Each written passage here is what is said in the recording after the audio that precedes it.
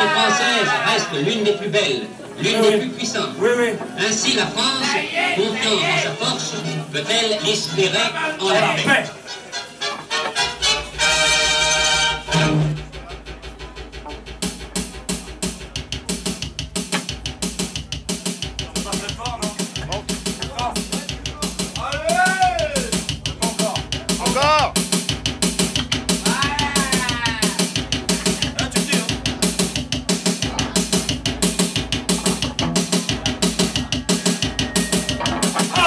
o'clock time.